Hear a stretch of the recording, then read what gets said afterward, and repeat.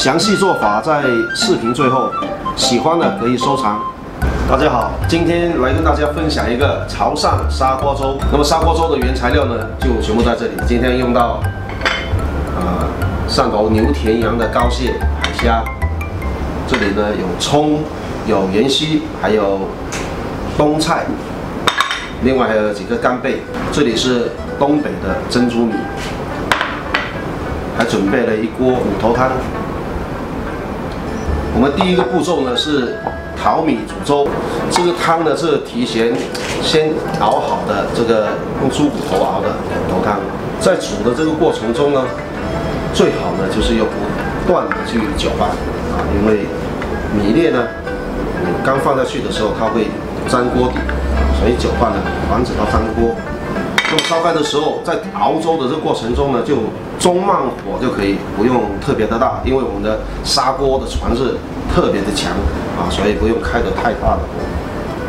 这里下去烧开以后呢，我们刚刚泡了一点这个干贝，连这个泡干贝和干贝水一起下去煮啊。我们一般如果是在煮海鲜粥的话呢，虾也好，蟹也好，都会喜欢放一点的干贝，它会提鲜。这葱油呢，在砂锅粥里面呢也是非常的关键啊，它起到啊增香的效果，特别好。好了，油热了，我们把葱放进去。OK，炸到这个葱呢啊金黄酥脆的时候，把它捞起来，过滤起来。我们等一下呢，只要用到葱油啊，这个葱就不要了。蟹。今天用到牛田羊的膏蟹，把蟹剥开，膏都是特别的饱满。剥开，把这个后盖呢，先给它取掉，把膏留住。先把蟹拿过来洗一下，斩件，把这个小脚先切掉，不要。那么一个蟹呢，看大小，把这样蟹呢切四块就 OK 了，不用切的太大。然后呢，处理虾，虾我们拿起来，先把这个呃虾须、虾枪这些给它剪了。虾开背，这个背部呢直接划一刀，把这虾肠取掉，切几片姜片啊，因为我们的蟹它是相对比较寒凉一点，我们还是用点姜。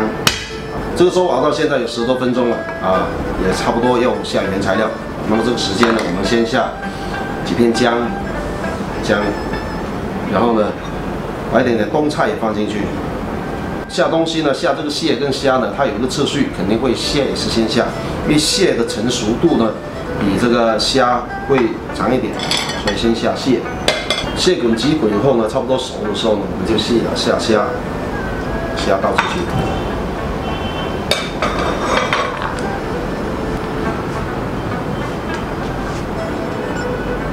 虾是很快就熟，所以呢，就直接就是到了下调味料的时候。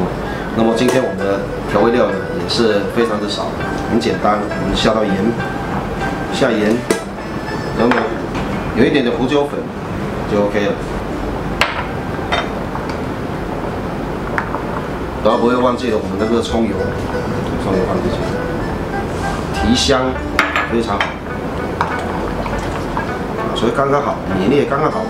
饱满、Q 弹、有弹性啊，这时候呢是最好的，而且虾跟蟹刚刚好熟。最后我们放一点芫荽下去，这锅粥呢就大功告成了。哇，做好了，自己先试一下，膏蟹、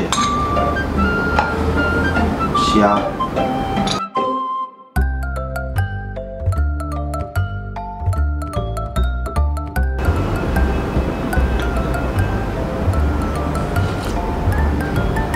嗯，